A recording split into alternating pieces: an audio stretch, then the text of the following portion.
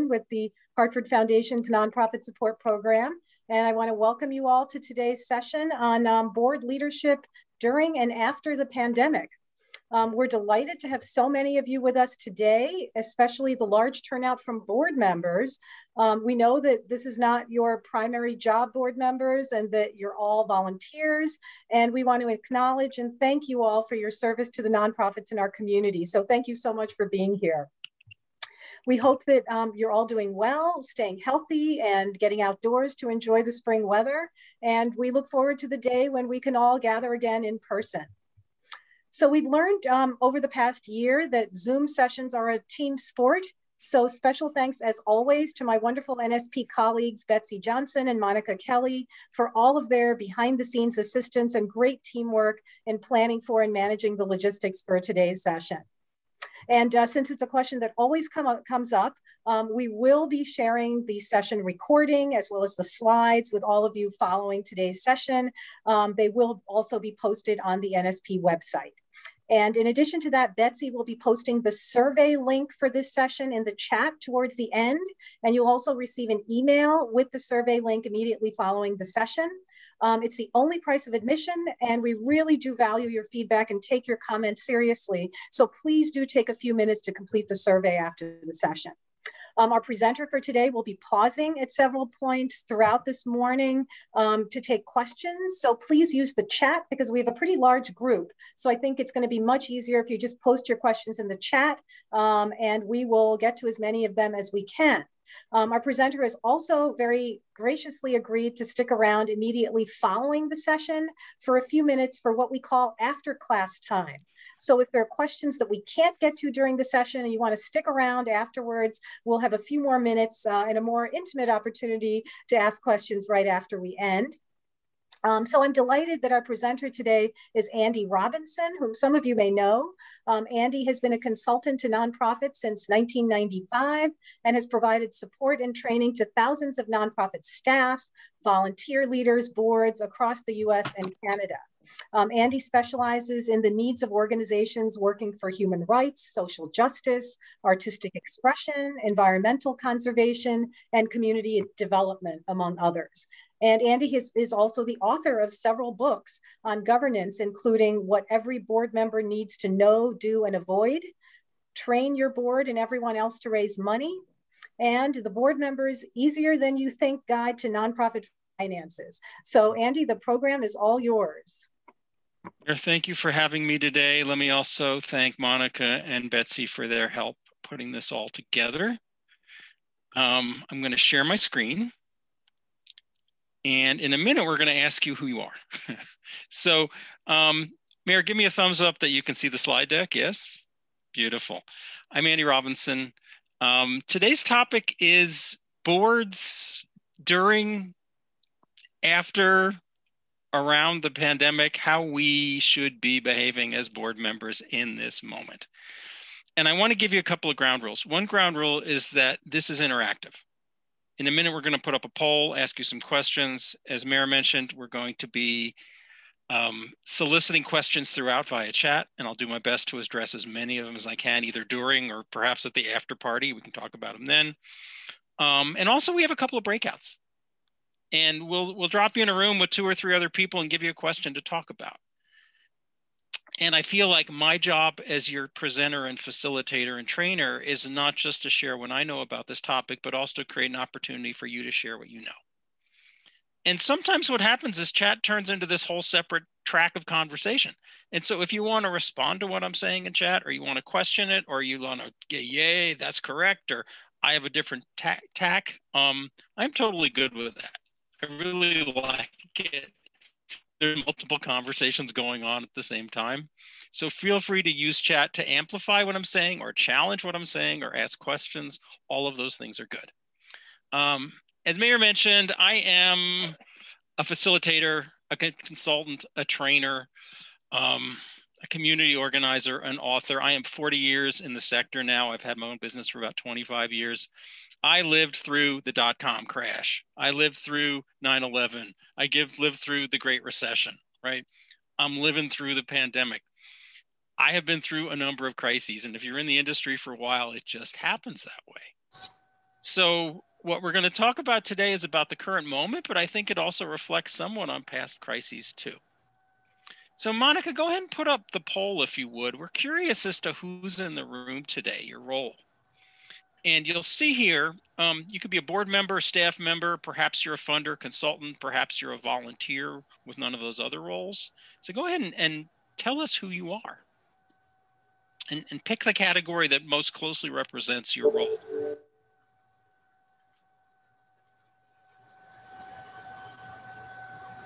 A lot of board members. This is awesome.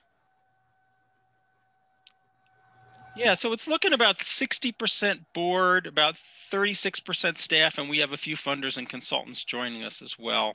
Monica, you can end the poll, please, and, and show the results. Excellent. So I want to echo what has already been said. If you're here today as a board member specifically, if you're volunteering your time to learn to be a better board member, um, I honor you. That's a big deal. And what I often say about these workshops is whoever comes in some ways doesn't need it because they've already stepped up and they said, I'm trying to get better at this. I want to learn. In some senses, the people who chose not to come are the ones that I'm concerned about. Um, but I'm glad you're here and I hope to make this productive for you. So I want to know what you want to get out of this. And this is a chance to use chat. If you haven't met chat yet, it's usually on the bottom of your screen. If you scroll around, you'll see a chat function. You click on that, you open it up and, and answer this question like, what do you want to learn? Why are why is this subject, why is this topic important? And, and Mayor, while people are typing, I'm going to pick your brain for a second here because you you recruited me to present this. What are you hearing from the community? Why do you feel like this topic is germane right now? Well, it's interesting, Andy. I've heard from, it's a mixed bag. I've heard from some nonprofits that their boards have really stepped up during the pandemic and are really trying to figure out how best to help their organizations. Yep. And then I've heard from some others that the boards are not really sure what to do. And I think that may be why we have so many folks here today is they're trying to figure that out. That's good.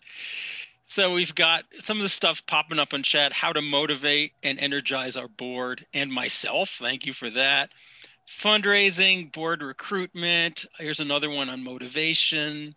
Um, nice. Mary, you can you can jump in too if there's others you're seeing here. Yeah, how to support staff. Love that.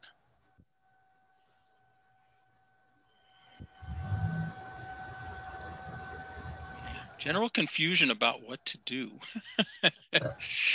uh, yeah, that's true. There's some of that going on. Nice. So um, I'm appreciative of your input here. I, I, feel like based on what I'm seeing, what we're what we're offering actually fits what you need pretty closely. So we'll do the webinar and we'll see if that's true. Um, and Mayor, if there's any other themes you're seeing in there, go ahead and share them with me. I know you're tracking chat for me today. Yeah, it's kind of a, a mixed bag of folks kind of wanting to know what to do, um, there are a unique set of issues with the pandemic. Uh, so it looks like, um, yeah, it's sort of a mix. Cool. So what we're going to do, we're going to talk a little bit about how board can best support staff. And the warning is this is going to be our first breakout. So you can be thinking about that. I'm going to teach you a couple of tools that you can use to prioritize programming and figure out what to protect, what to keep, maybe what to give away or unload. Um, there are some fairly deep strategic questions that have become present in our lives in the last year that I think all nonprofits need to be paying attention to. We're going to do a little bit of a dive into financial oversight because this is one of the roles of board members is, is the fiduciary piece. And I've got some questions that I feel like all board members should be able to answer without looking at spreadsheets or board books. And then we're going to also spend a few minutes talking about fundraising because that topic never goes away. There's always a need for that. Um, we're, we're scheduled, I believe, for 90 minutes. As mentioned, we'll, we'll save a little time at the end for questions. And if we go into overtime on more questions, I am totally good with that because I got nothing else scheduled this afternoon. So I'll stay here till the questions are all answered. So I want to offer you five or six advisories. And the first one is that this is a moment for compassion. Um, how can you, as board members, and I realize there's staff members here today, how can you best support the staff? How can you best support each other? What have you done to make your lives collectively a little easier? And, and what I have heard, and I'll, I'll echo in some ways what's been said here, I, I have heard that there have been instances where um, board members have reached out to staff and said, What do you need? I know it's difficult now. How can I support you? I also have heard stories of board members who went AWOL. And, and when the pandemic hit, they sort of tucked their heads into the ground and they were never heard from again, which feels like the, exactly the wrong response to me. So I am curious as to how your board has been supporting the staff. And this is a shout out to the staff who are in the room today, because I feel like this is the first question. And I will acknowledge that perhaps there are some all volunteer groups in the room where you don't have employees. And the parallel question still holds, which is how are you supporting each other? Um, what are you doing to make each other's lives a little easier? So this, if you haven't done breakouts on Zoom, this is how it works. Um, in a minute here, Monica's going to set up set up invitations to invite you to a room, and it'll say you're invited to room 12 or room 13 or room six or whatever. And you click on that button, and you're going to go away, and you're going to find yourself in a room with two or three other people. And you'll have um, four or five minutes on this. It'll go pretty quick. Introduce yourselves briefly. Hi, my name is, this is my group. And then this is the question, and we'll put it in chat. What are you doing now as a board to support your staff? And I would also add, what are you doing to support each other as board members? What has been your compassionate response in this moment? So we'll give you a couple of minutes to talk through this. It's a good way to warm you up for the class, is to get you talking to each other early. So that's my intention here. Um, and we'll have you back in five minutes. Um, Monica, let's make it four-ish minutes, but five is fine. Um, and then we'll see what you talked about. So uh, please join the breakout room when you are invited to do so. Um, so I would love to, to get a quick report via chat. Um, any themes? Uh, anything specific that struck you that you want to share with us all? That would be great. So I'm put the slides back up.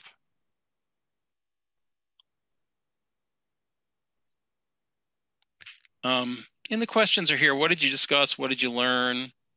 Um, any next steps or thoughts that came out of that. So feel free to use chat here. And we'll go ahead and see, we'll give that a minute, see what comes in.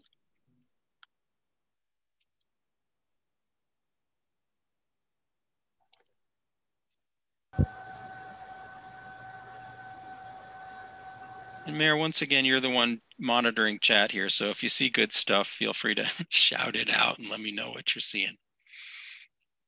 Yeah, providing resources, paying attention to DEI issues, mm. um, issues, oh, pertaining to vaccinations, huh. communicating, staying in touch. I think still some issues around virtual versus in person. Yep. Yeah, this is good. Yeah.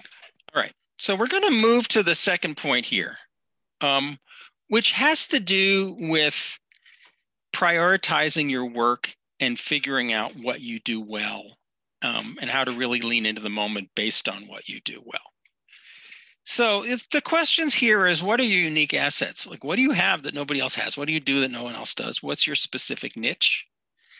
And then when you think about your position in the world, compared to peers, where are you strong? Where are you weak? Um, what have you? What can you offer that they can't? Now, I want to give you a quick tour of a tool that I have used a lot. Um, this is going to be awesome for some of you, and some of you are going to like, "What? I don't understand this," and that's okay. I'm not going to spend a lot of time on it, but I think for the people who for whom it works, it works pretty well. This is called the MacMillan Matrix. This was created by a man named Ian MacMillan at the Wharton School at the University of Pennsylvania. And the story is that he was working with a bunch of social service organizations, helping them do strategic planning. And he noticed that most of them were doing their planning in a vacuum. They were just thinking, like, what do we want to do? And they weren't looking at the environment, they weren't looking at the field, they weren't looking at their quote unquote competitive position compared to other organizations. So Dr. MacMillan created this matrix, and there are four criteria for, for making judgment. there's whether something aligns with your mission or not, whether it aligns with your abilities. That's the first one. The second is, is, is this difficult or easy? Easy programs, for example, attract resources, have measurable results, energize people who are doing them, those sorts of things. Then there's the question of competitive position. Like, how are you doing this compared to others who are doing similar work?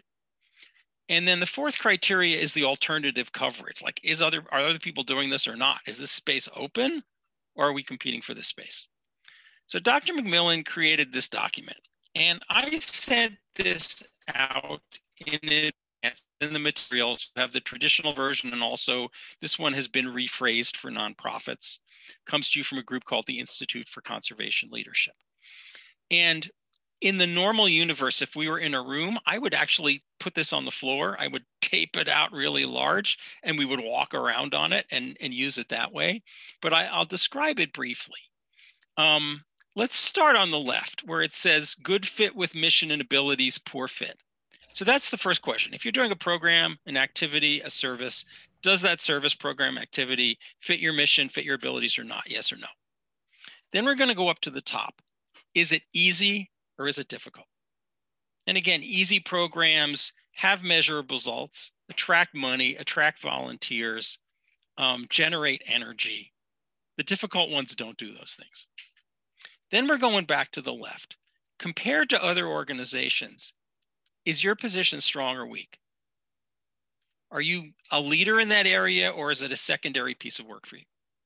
And then going back to the top, we have the alternative coverage high or low. Are other people doing it or not? That would be true whether it was easy or perhaps if it was difficult. So I'm just going to run an example or two here. Imagine that something fits your mission, is relatively easy. Other people are doing it, but your position is strong compared to this. So this is number one on the matrix. And it says affirm this program and negotiate functions with other organizations. Meaning hey, y'all, we're doing this. This is core work for us. We realize that you're doing it too. We're not going away. Let's have a conversation about how we divide this up in a way that adds value for the community. Let's acknowledge that we're both doing this and let's um, confirm that we can both do it well. And perhaps this becomes a collaboration opportunity. Now, I want to acknowledge that sometimes there's work you want to get rid of. Perhaps there's something that's relatively easy to do, but others are doing it more than you. So, you know, imagine we have the easy program, alternative coverage high, but your position is weak. Number three says give this away quickly. And that's okay. It is okay to take a program that's not your primary work and find a different home for that. So this is a way to think about strategic planning that actually thinks about the whole community and the universe of nonprofits. And the goal here is to figure out when you should lead, when it's best to step back to support other organizations, and when you might actually want to collaborate and do the work together. Now, in my fantasy life, you are actually doing this exercise or some version of this exercise with peer organizations. So, you know, if you're in Hartford and you're working on feeding the hungry and food security, then I could imagine some sort of gathering where all the groups that are working on hunger relief and food security come together and there is a collaborative strategic planning process, which is about this is where you lead. This is where we lead. This is where we lead together. Negotiate all that. You know and the goal here is to serve the community more effectively. It's not necessarily to you know support your organization. It's to create change in the community. So as i said i am fond of this tool. I have used it often and well. It doesn't work for everybody and if it feels like it's something that's either over your head or it's not relevant to your circumstances, that's okay. I'm bringing a bunch of tools today and I'm dumping the whole toolbox on the table and you will choose the ones that, that seem most relevant and useful to you. Um, May, are there any questions I need to address? Uh, not yet, Andy. Okay. So, number three. This is a moment, people. I mean, in the last year, we have dealt with the pandemic, um, we've dealt with a whole major economic disruption. questions about racial justice and equity are top of mind in ways that they perhaps haven't, haven't been in this country in a long time. This is stuff that's on everybody's plate. And so I think for many nonprofits, there is this moment of, okay, let's look at our mission. Let's look at the circumstances we are in. Let's ask the question are we relevant? And if not, how do we become more relevant? And if we are relevant, in what ways do we take advantage of this moment to strengthen our organization and strengthen our work? And so I am feeling like, as a board member, this is your job is to ask these sorts of questions. Are we meeting the moment? And you know, the, this is an old metaphor, but I think it's a classic and I like it. We're talking about the division of work between staff and board, Here's a way to think about it. The board is down in the jungle trying to make a path. They've got the machetes and they're chopping away and they're trying to get from here to wherever they're going. That's their job in the weeds, literally. The board members are up at the top of the trees going, go that way. You know, the village is over there, the ocean is over there. This is the way. Board members need to be a little bit above the fray to pay attention to some of these larger strategic questions. And it doesn't mean the staff can't and shouldn't and won't. It simply means because board members are not burdened with the day to day operation of the organization, they can think a little bigger. They can think a little more broadly. So we're doing two breakouts today, and the second one is coming up now. And this could be hour and a half's conversation, right? We're just going to sort of scratch the surface on this. But I am curious as to how the pandemic and all the things that have come out of the pandemic have changed your thinking um, about program delivery, service delivery, um, governance, structure, fundraising, uh, social justice, whatever. Like, how has this moment, and this moment is now a year plus, changed the way you think about your group? And has it changed the way that board members need to do their work? And, and you can be tactical here. I mean, you can talk about, you know, our board meetings are now on Zoom and we're comfortable with that because people don't have to travel and that might persist. But I'm really more thinking at the strategic level, which is what are the deeper questions you're wrestling with? And you know you're going to be dropped in a room with a few people you may or may not know you can share as thoroughly as you wish to share or you can hold some stuff back if it doesn't feel comfortable sharing that's okay too.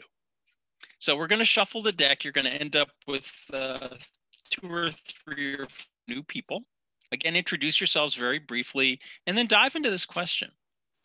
Um, and we're going to give you about six minutes on this one. So again it could be an hour and a half to talk about this but we want to get you started. So um, Monica, please do your magic thing. Um, have a good conversation, folks. We'll see you back here in a few minutes. Deep topic. And what I want to say about this is I'm queuing up work for you to do internally with your own organizations. All this stuff I'm giving you, the tools and the conversations and the prompts and the questions, this is all meant to spark homework, right?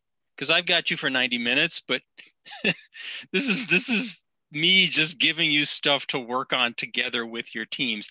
And, and something that we were looking at when we were coming in today is that many of you have come as teams today. Um, we have staff board combinations. We have some groups that have brought in multiple board members. That is optimal. So if you are starting the conversation now and you didn't finish it, in some ways, that's the point.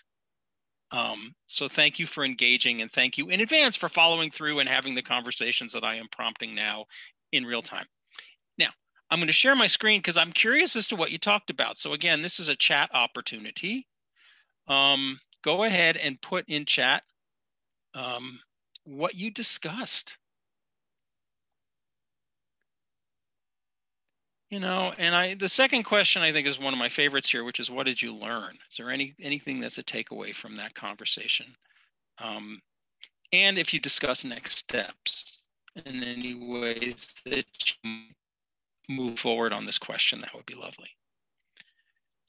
And, and while you're chatting, I will reiterate that we are always grateful for your questions throughout the webinar. So if questions come up and you want to pose them, I will do my best to answer them either as we're going through or at the end, perhaps both. Um, let me also say that if you don't get your questions answered and you want to reach out to me individually, Um, I am happy to respond by email or phone and try and answer them that way. There's no charge for that. Um, you know, please don't keep me on the phone for an hour. But if I can answer your questions quickly, I'm, I'm happy to help. So um, please don't feel like this is your only bite at the apple. If you don't get it asked or something pops up next week and you think, why didn't I ask that? Reach out to me. My contact information is on the slide deck and you can find me that way.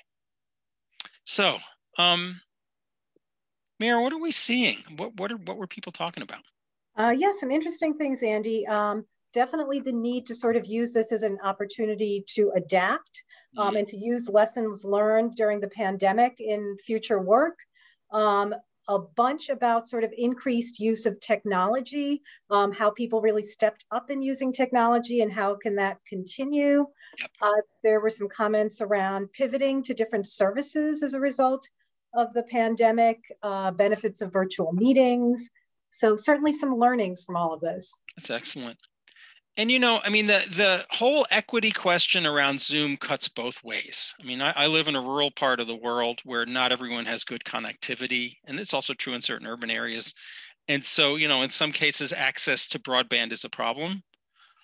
Um, on the other hand, I, I chair a board, and one of the board members has MS and is pretty physically limited. It, I mean, she can get in the car and drive, but it's a real project for her.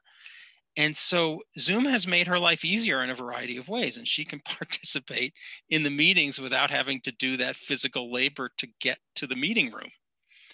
Um, and I have had other board members who said, you know, henceforth, I am not going to drive to a board meeting on a winter night when there's snow on the ground. I'm just not going to do it.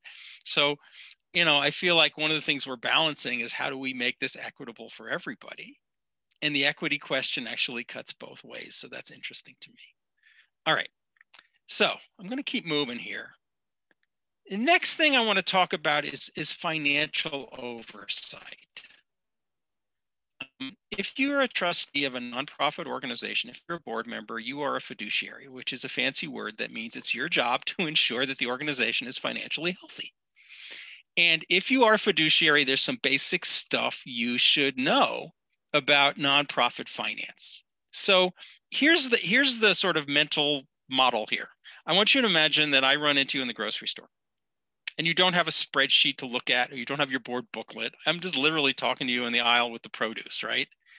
I'm going to ask you some questions. And I think if you're a board member, you should be able to answer these questions top of mind without looking at your spreadsheets.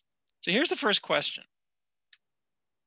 Um, what are your current sources of income? Like, where do you get your money from now? And what's the strength and weakness of the model? You know, so somebody might say, well, you know, we are a social service organization and we're getting 75% of our budget from the state of Connecticut.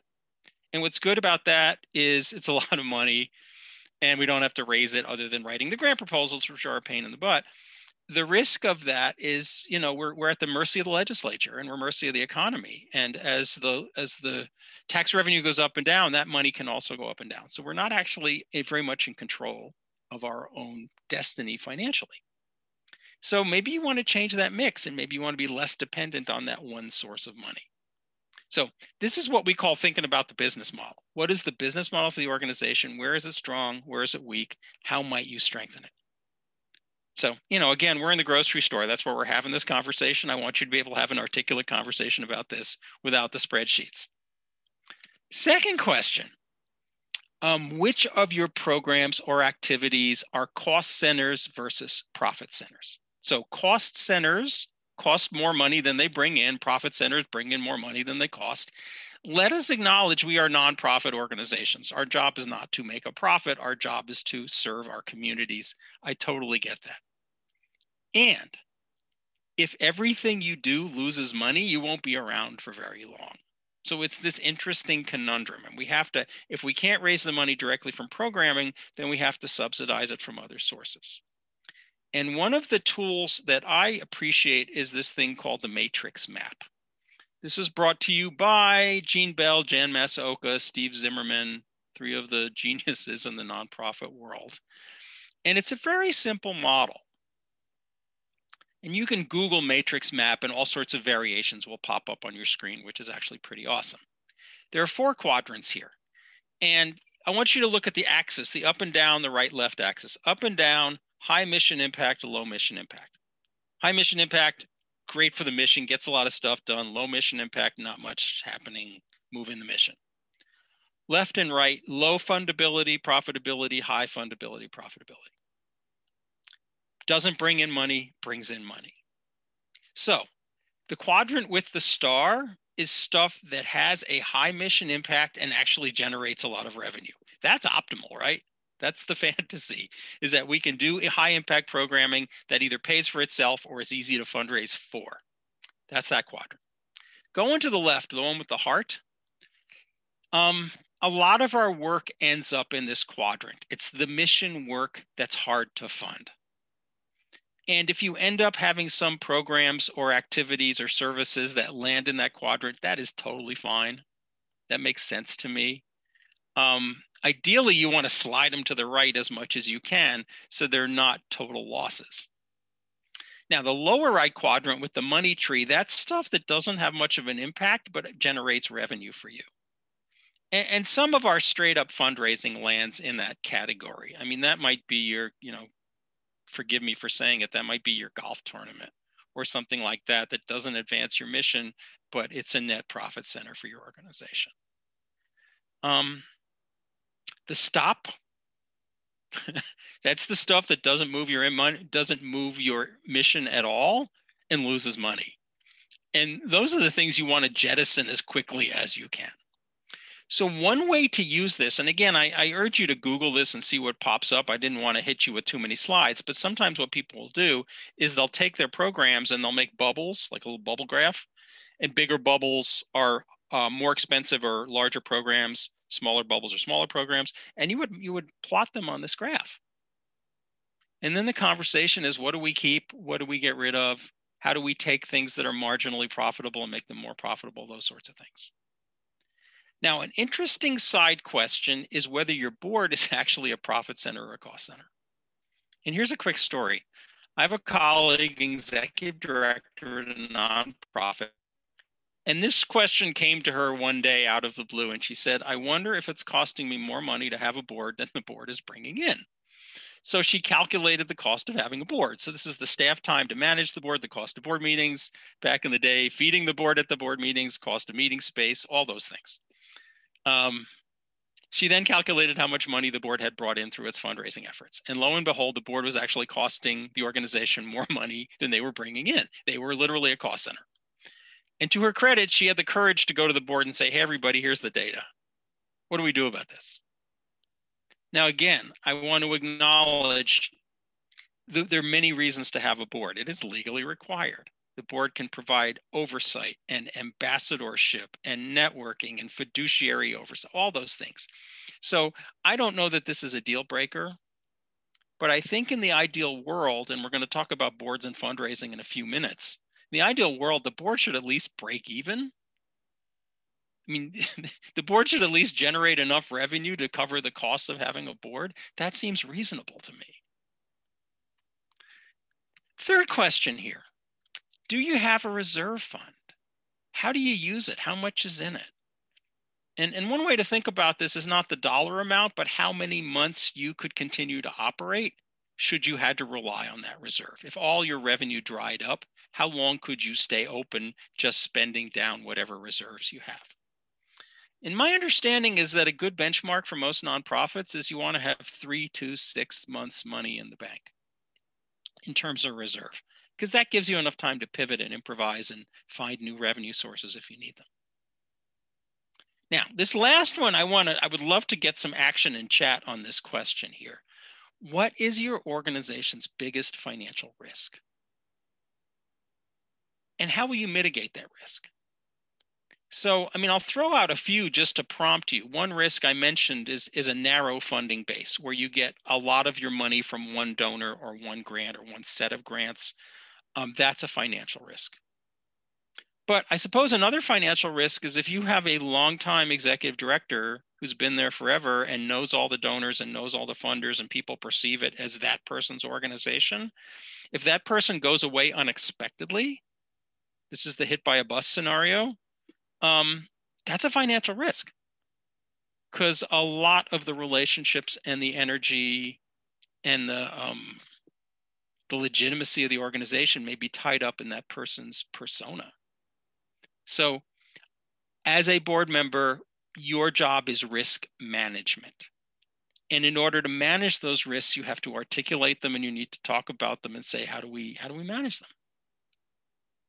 So um, if you're willing, go ahead and share. This is a great place to put stuff in chat in terms of what you think about. And, you know, maybe the way to ask the question is what keeps you up at night, financially speaking, for your organization? And, you know, Mary, I'm going to pick on you for a minute because I'd love to get another voice in here. I mean, you work with a lot of nonprofits. Um, what do you see as, as primary financial risks that some of these organizations are dealing with? Hmm. Well, I'm just looking at the chat and someone just posted not having a strong base of individual donors, um, yeah, having the board is involved, and having a coherent sort of fundraising strategy and plan. Yep. Uh, someone else just posted possible loss of members is our worst risk. Yep. yeah, you know, one of the things that's going on here, I mean, this is a solvable problem, but the average age of an American donor has gotten older and so we have a graying demographic. We have you know boomers giving money and boomers moving through. And so one of the things that a lot of organizations are thinking about is how do we find younger donors and how do we bring them in and keep them and recruit them and upgrade them and all those things. So i think that's real. Good. Anything else in chat you want to share? Uh, someone posted over reliance on a few major institutional yep. funders. Yep. and then someone made, made the um, the comment that these are good questions to ask in our personal lives as well. right on. Yeah, it's true. Um, yes, I, I, could go. I could go off on a long tangent about that, but I will save us all that. Yeah. So this is a good segue to the fundraising part of this. If you're a board member, item number five here is fundraising, and there are some notes. First of all. Um, we had a good we the nonprofit community had a good fundraising year last year. This surprised a number of people because of the pandemic and the economic shakeout but the early data for 2020 um, this is through something called the fundraising effectiveness project and you can google that if you want to see the data. They're very well respected and they do good data collection. Early data from the fundraising effectiveness project is that overall philanthropy grew by 10% last year and the biggest growth area was small donors, meaning people who gave $250 or less per donation. Um, that area grew by 15%. So, one thing that happened during the pandemic, and I hope will continue through 2021, is that those who are in a position to give, and it's not everybody, those who are in a position to give, gave more. And I'm hearing a lot of these stories, um, which you know, in my position is is awesome. As someone who's a fundraising consultant, it's really good to hear that people are succeeding and they're making this work. So, if you're a trustee, one of your jobs, to the best of your financial ability, is to give. And I hope you're continuing to support your organizations financially, again, as best you can given your circumstances. Um, the second point here is we spent some time talking about fiduciary responsibility. It's not just stewarding the resources you have, it's not just spending the money carefully, it's also generating more money. And I will quote my colleague, Kim Klein. She's one of the gurus of grassroots fundraising. And, and, Kim says most people's instinct is to cut expenses rather than raise money.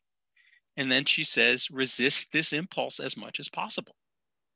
And I think that's huge. I mean, the first question we have to ask is how do we generate more revenue, not how do we slash expenses, cut staff, cut benefits?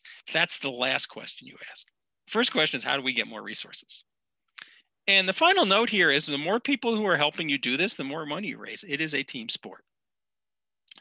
So I want to give you some tools for boards and fundraising.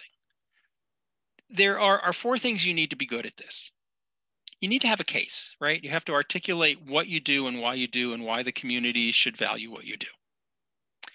You need potential donors. They could be individuals, they could be foundations, they could be businesses, they could be government agencies, but you need people to go out and ask. You need folks who will then do the asking.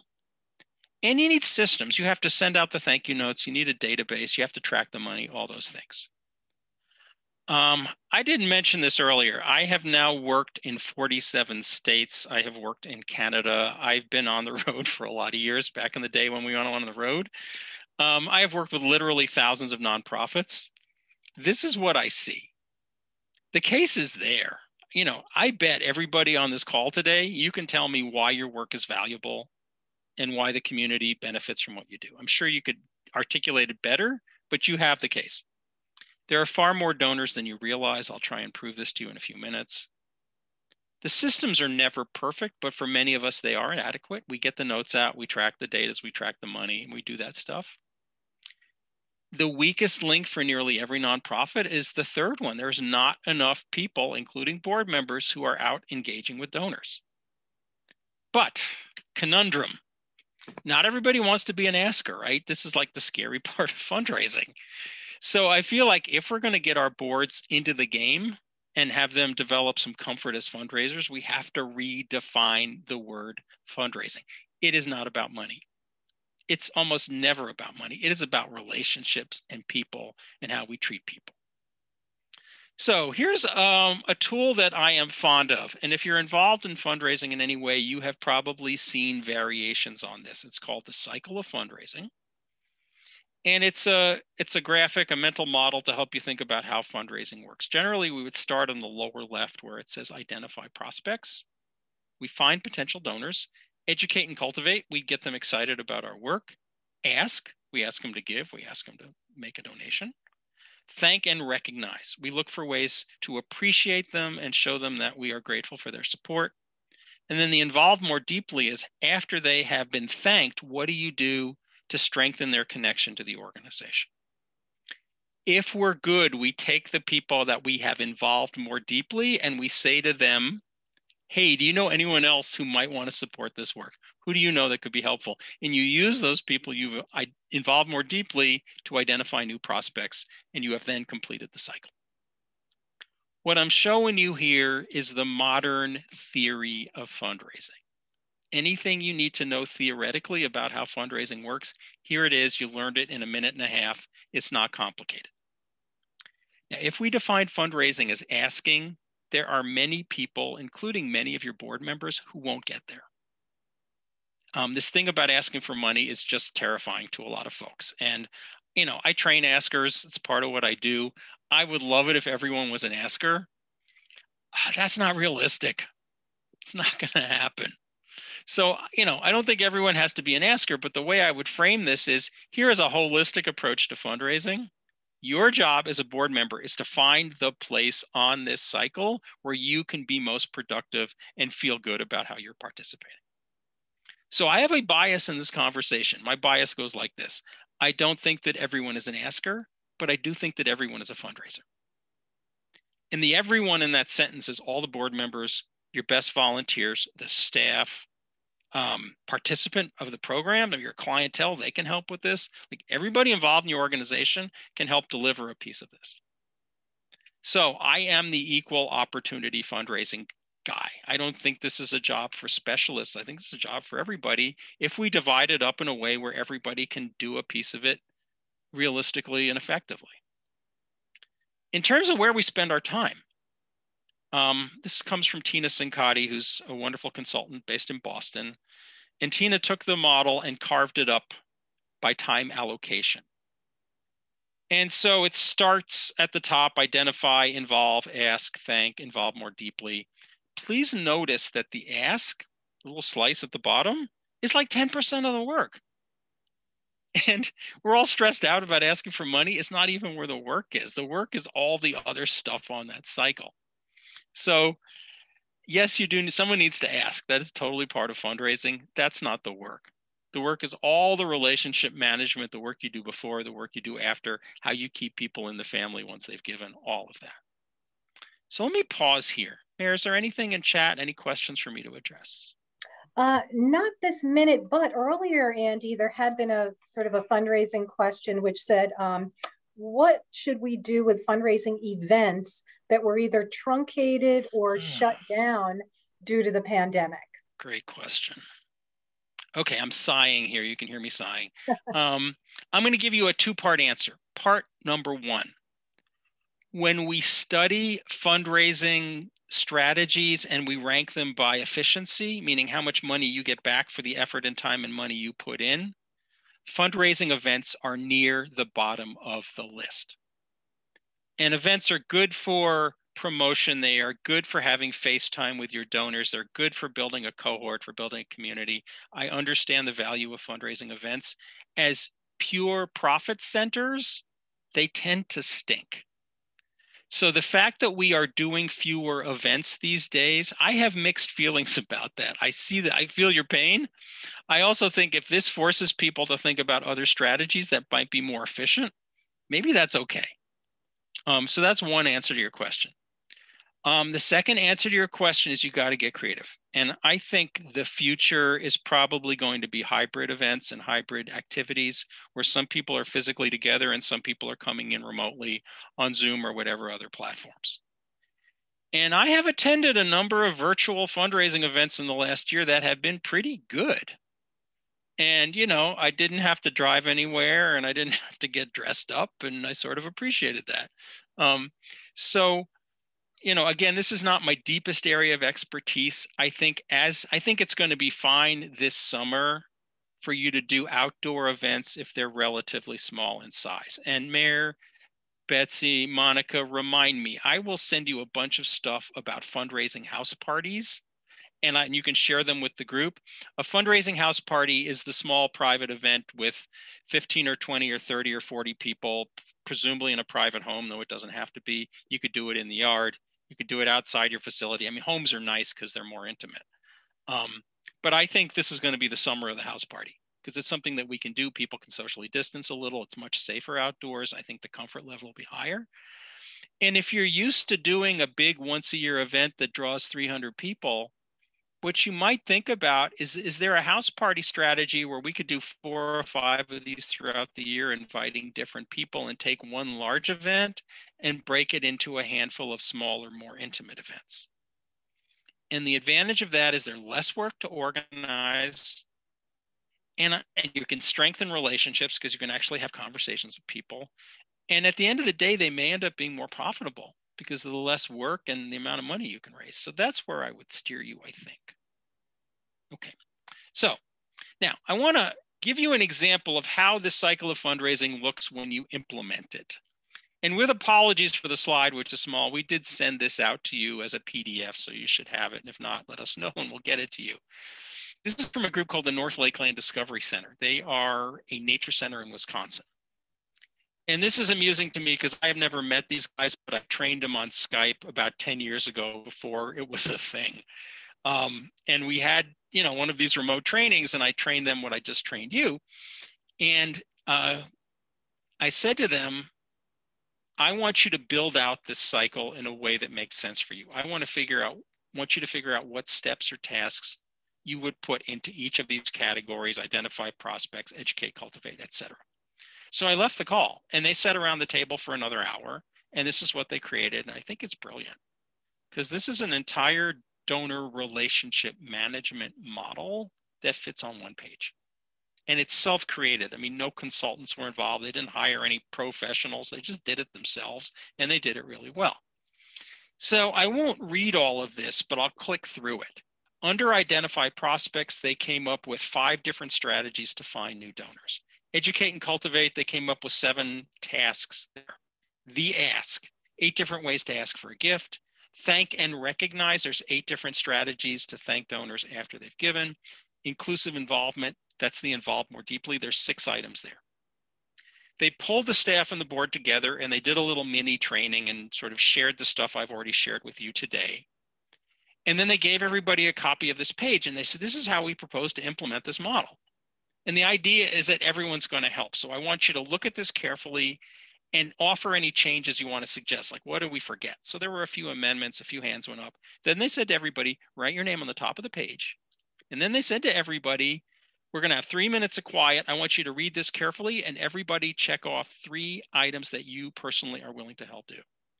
And they were very instructive. They said, don't pick stuff that's weird and awkward you're not going to follow through on. If you read it and you think, yeah, I can do this, that's the one I want you to choose. So everybody sat there quietly, read it, checked off three items, turned in their forms. The fundraising staff went back to the office and they made a spreadsheet. And the spreadsheet are here are all the tasks and here are all the people. and where do they intersect? And then they started to have a way to bring everybody into the fundraising model. So for me, this is foundational. Um, I think a really bad question to ask a board member is, will you help with fundraising? Because I don't know what that means. Like, what do you want me to do? And I think a stronger model is to say to them, here are tasks that need to be done. Pick the tasks where you need where you can be helpful. So my homework for you, I'm going to go backwards here just for a minute. You will remember this cycle of fundraising. My homework for you is to bring this back to your board. And I've given you a sample. And what I've also given you in the packet is the template, the blank be empty. And I feel like if you can train up your own people on this model and you say, okay, what's the relevant uh, steps for us? And again, you have the cheat sheet, right? You've got a sample to work off of that makes life a little easier. And I feel like this is foundational. If you're going to get your board to help with fundraising, you got to get it down to the task level and they have to be relevant to your mission and your donor base and your capacity. So once you've done this, you might think in terms of the menu. And this is another sample that we shared out. And these two are, they overlap some and you could pick one or the other, or you could do both, but I wanna give you both tools and you'll decide which one works for you. Um, here's a sample. This comes to you from a group called Garden City Harvest. They're in Missoula, Montana. They're a, an urban gardening organization. And they generated a list of tasks for board members to help with fundraising, and they literally put it in the form of a menu. So we have appetizers, we have entrees, and we have desserts. And the principle here is that each board member picks one appetizer, one entree, one dessert. That becomes their work for the year. And what I love about this model is everybody's got to help, but how you help, you get to choose and you know this is not dissimilar if you've ever you know raised a three-year-old you've had the conversation of do you want to wear the red socks or the blue socks? right? Are you going for the pink shirt or the green shirt? And psychology right? It's like here's a here's a defined list of choices. Choose the thing that you are able to do. So what i would have you do is use the sample to brainstorm the version that's relevant to your organization. Once you've done that and I'll show you the, the document, you get it in the form of a fundraising agreement. So people are actually writing down the tasks that they are taking on. And then you could actually use this at meetings to do check-ins. And you could say, once everyone's filled out the menu, you could go around the table and say, everybody talk about what they're going to do. Everybody talk about what they've done in the last month to support fundraising. And if you want to build a culture of fundraising into your board and into your organization, we want to have some accountability baked into that. And I think it's easiest if people just self report. You don't have to call them out or shame them or anything. Saying, we're going to take five minutes at the beginning of every board meeting and we're going to go around the table and everybody's going to talk about how they have engaged in fundraising since our last meeting. And if you have, haven't done anything, but you have something planned, talk about that and you know on one hand it's accountability on their hand it's sort of inspiring because then people are actually doing stuff and you think wow we're making progress here. This is good. So i do like a good fundraising menu. I think this sample is good for you to work off of and if you like it use it. Where this goes and this is another document we shared with you is the board fundraising agreement and this is based on three things board members providing a donation, board members helping identify donors, board members selecting fundraising tasks. There's two pages here in terms of slides. So it says to support the mission of our organization, I agree to take on the following. So the first one is about my gift and how I'm going to make payment. The second one is about prospects, and it says, I will provide name and contact information for a certain number of prospects by a certain date even if I am unable to follow up with all these people personally, I will still add names to the list for mailings, event invitations, etc. And then we get to the menu here. Um, my fundraising support tasks taken from our menu. Activity, date, projected revenue, if applicable, because not every task generates revenue, help and support needed from the board. 3A, 3B, 3C, presumably the appetizer, the entree, and the dessert. Uh, and then there's signatures, signature of board member, signature of board chair. Uh, I would love to tell you this is a legally binding document. I don't think it is, but I think there is the ritual of signing the paper and solemnizing that. And somehow that feels important to me. So that's the boards and fundraising stuff I wanted to present today. And I will pause. And Mary, if you got any questions coming in on boards and fundraising or anything else, I'm happy to try and address them. And if you guys, if you're out there and you want to ask questions about boards and fundraising, this would be a great moment to do it. Yeah, Andy, there's a couple of endorsements of uh, house parties, especially those hosted by board members. If nothing yeah. else, people are curious to see what board members' homes look like, even if they aren't um, fancy.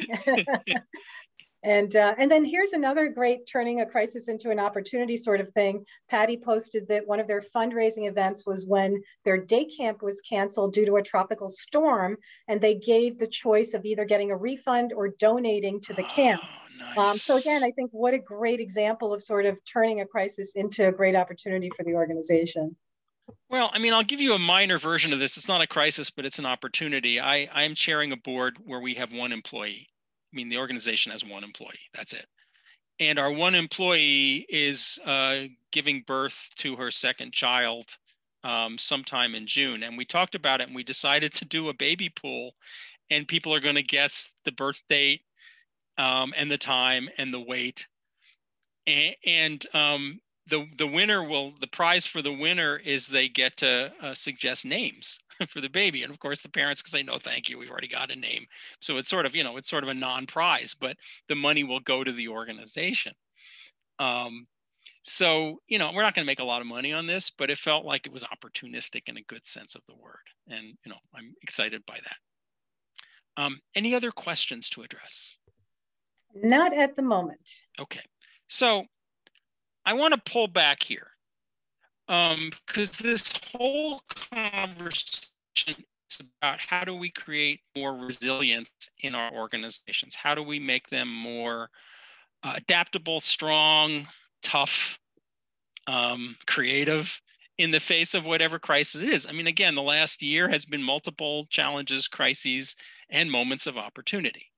So in a second, we're going to fire up chat and I'm going to see if you can add to my list here. But when I think about a resilient organization, these are the things that I think about. First of all, are we in good relationships with, with peer organizations? Do we support peers and other groups in the space? Are we providing that sort of mutual aid? Are we like out on an island by ourselves or do we got people? Um, resilient organizations have networks, they have people, they have mutual support. The second bullet here we've talked about already, which is the diversity of the revenue and having some money in the bank so that your, your business model um, has some flex in it. I think you need to have contingency plans and even a contingency budget.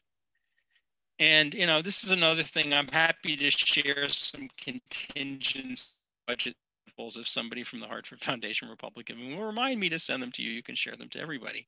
But the idea here is you have budget scenario A, B, and C.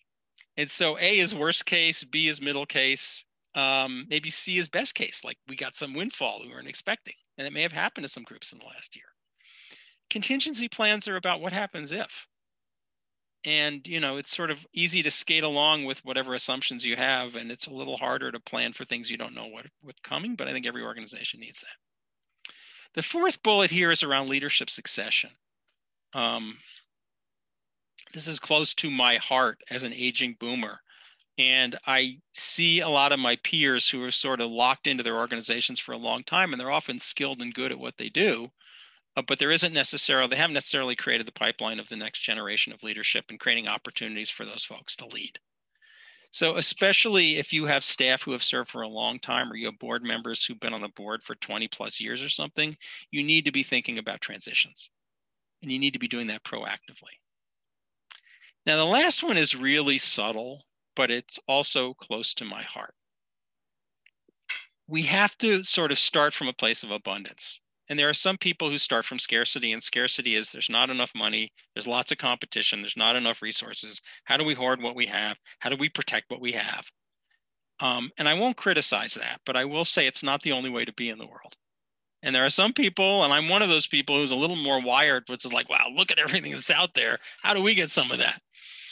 And I think the more resilient organizations tend to lean into how do we adapt to this moment and turn it into something good. And it's a cultural thing. And it has to do with how leadership projects that. And I think it also happen, has to do with board recruitment. I mean, I I want to recruit some people on the board who are optimistic and um, abundance minded and are not just how do we manage the scarce resources that we have. You need some of those people too, for sure but I want some people who think broadly um, and are not afraid to go out and find additional resources if that's what you need. So that's my list. And I would love to have you add to my list. So this is a chance to use chat. Um, when you think about organizational resilience and adaptability, what do you think about? And go ahead and put it in there and we'll just take a look and see what people are sharing there. Oh, Chris, thank you. Investing in the staff through compensation, benefits, and professional development. Amen. Yeah, we have to treat the staff as the professionals they are and invest in them in all the different ways we can. So that's beautiful. Thank you for naming that. Anyone else have any thoughts on the resilience? Yes, loving the culture of abundance, diversity of partnerships and board members. I think this is big. So I'm going to riff on this for a minute here. In the ideal world, your board represents the community you serve in all ways. And um, a tendency we have, I think, is to cherry pick people who are more powerful or um, perhaps more wealthy rather than filling our board with people in the communities we serve. And I think this is a both and. Um, so theory of nonprofits is that we don't pay taxes, right? And people give us money, it's tax deductible, but in exchange for that, we're supposed to be serving the communities in which we are embedded. And the theory of the law is that the community is governing the organization. And the way the community governs the organization is the board members come from that community. So I think that is a resilience piece, and I appreciate that. Um, so good stuff popping up here. I appreciate the comment about the morale of staff. I think that's big. Mary, what are you seeing here? Yeah, please unmute. Sorry. Adapting uh, the mission to community needs, um, the need for creative thinkers and people who are flexible, both staff and board. Yeah. Uh, a couple of things. Yeah, that's great. This is nice. All right. Please note, because she's on top of stuff, the um, Betsy's already posted the Survey Monkey in chat. We're not even done yet. Well done, Betsy. Um, but we will be surveying you and you'll get a reminder on that later as well. So that's great. Um, I am now open for any questions that you want to ask about anything we talked about or perhaps anything we didn't talk about. Chat is your friend again. If you're uncomfortable with chat and you want to raise your hand, there's a raise your hand function, or you just want to unmute and verbally ask a question, I think we can manage that. So chat is the preferred strategy. Um, and I'm actually going to make the slide deck go away for a minute so I can see everybody. Um, any questions? Andy, there was one um, question that was posted earlier about um, do you know what percentage of boards actually or board members sign on to make their own financial commitment as well as to um, soliciting financial commitments from others? Well, I, I don't know that there's industry wide data on that. It's a good question. I don't know that I have data on that. I can tell you a best practice here, which is I think all board members should give at whatever level they are able to give. And you know, to be sort of blunt about this, I want poor people on your board. I want rich people on your board. I want middle income people. I want all of them. And I absolutely believe that everybody can give something. And one of the reasons I say this is that you will have an experience in your fundraising life where you will sit down with a potential major donor or a foundation, and they will ask you this question. And they will say, Do you have 100% board giving? And if you can't say, You bet 100% everybody on the board is a donor, they look at you and they start laughing and they say, Why are you talking to me? Talk to your own people, then come and talk to me. So I think you need to inoculate yourself for that conversation using the you know the vaccination metaphor here um, by by trying to get at least asking for everybody on the board to give. Now, here's the blowback. Board members will say, "I give my time. Isn't that more valuable?" And my answer is absolutely yes, yes, heck yes. Your time is more valuable. Totally get that. Here's the problem. I went to Verizon. I tried to pay the phone bill with your time. It didn't work so well, right? I went to the landlord. I offered to pay the rent with your time. The landlord was not interested in your time in lieu of rent. So as, as a trustee, as a board member, we ask you to do both.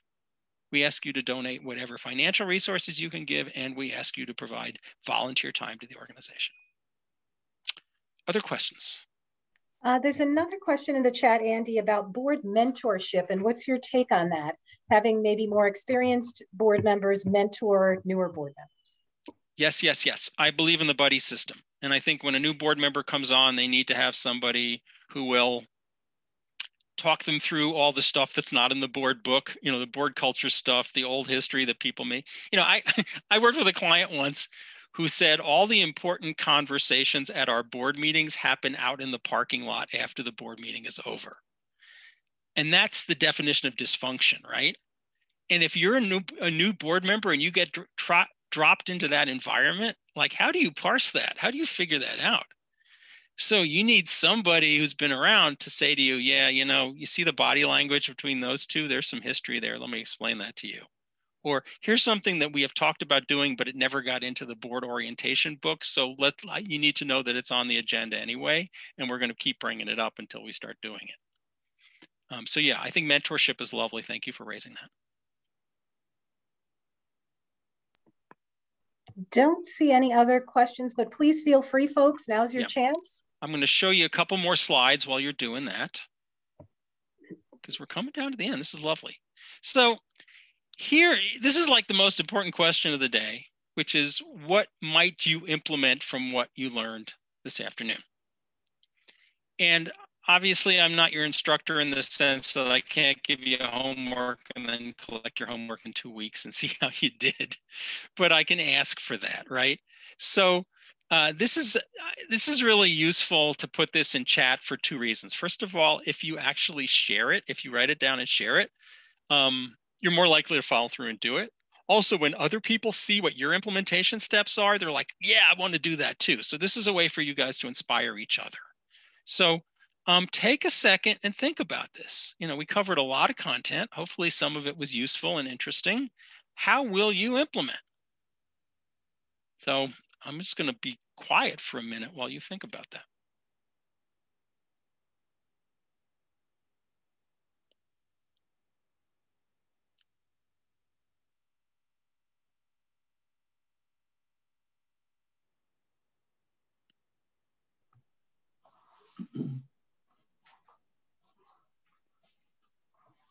Andy, there's one person that has raised their hand. I think it's Manon Champagne, if I'm pronouncing it correctly. Manon, you're yes. on. Go for it. Unmute. Yes, my question is regarding the relationship between board members and the staff of an organization. What's the uh, what's the ideal uh, relationship? Is it going through the executive um, only, or is it being able to to speak and go directly to the yeah. staff, or yeah. having staff attend board meetings sometimes? And what what's what would be the uh, the ideal way to to manage the relationship? Yeah, so this is an awesome question, and it's actually more complex than it looks on the surface. Um, some of it depends on the size of the organization. You know, as I said, I chair a board where we have one employee, and that employee comes to all the board meetings as invited, and we need her at all the board meetings. And you know, I interact as a chair, I interact with her a lot, but there are other people who do too, and it's pretty informal, and it seems to work fine. There are other organizations where the structure is that all the communication with staff goes through the CEO or the executive director, and there are times when that makes total sense because you really don't want individual board members micromanaging the staff. Right. Yeah. It's a problem. Right. But I have to also say that I once served as development director for an organization where all the communication with the board had to go through the executive director. And it was a total power play because she wanted to filter everything that went through the board to the staff and vice versa for her own means. Um, and my ability to, as a fundraiser, my ability to interact with the board on fundraising was actually pretty limited and it made it harder to do my job. So I don't know that there's a textbook answer to this question. I mean, I, am going to say it depends, and that's just an unsatisfying answer. but the way I would look at it is in your current model, from your perspective anyway, what's working and what isn't working? And would a change in that structure help things to work more effectively? Um, but but sadly, I can't give you one answer because I don't think it's I don't think there is one. Mm-hmm. Okay. No, thank you. You're welcome. Thanks for the question. All right. I'm going to look at implementation. I want to know what you're going to do because this is where I find out if I actually earned any money today. Because the whole point is for you to do stuff. Yes. Thank you. Promote more discussion around contingency budgets. Thank you, Eric. Advocate and promote. Yeah, this is good. This is excellent. Anything jumping out at you, Mary? What are you seeing? I think there's some comments about sort of sharing with other board members who yeah. are not here today, yeah. which I think is a great idea. I totally agree. Yeah, yeah. This is a train the trainer workshop. We didn't sell it that way, but that's what it is. So I am an author of a number of books, and this is one of them that's most relevant, called uh, what every board member needs to know, do, and avoid. You can check it out if you're interested. This is where you can find me at andyrobinsononline.com and also trainyourboard.com, which is a website and a blog and e-news and a lot of other things. Um, the Hartford Foundation for Public Giving does not give me all your email addresses, and I understand why, but you can reach out to me and you can be added to my list on your own. And you can, you know, you can put your email in chat now if you're moved to do so, or you can just find me here and send me your email and I'll go ahead and add you, and that's great. Um, I send out e-news a couple of times a month, upcoming webinars. I have a blog. I have a lot of guest posts that are pretty interesting, and I would love to stay in touch with you that way.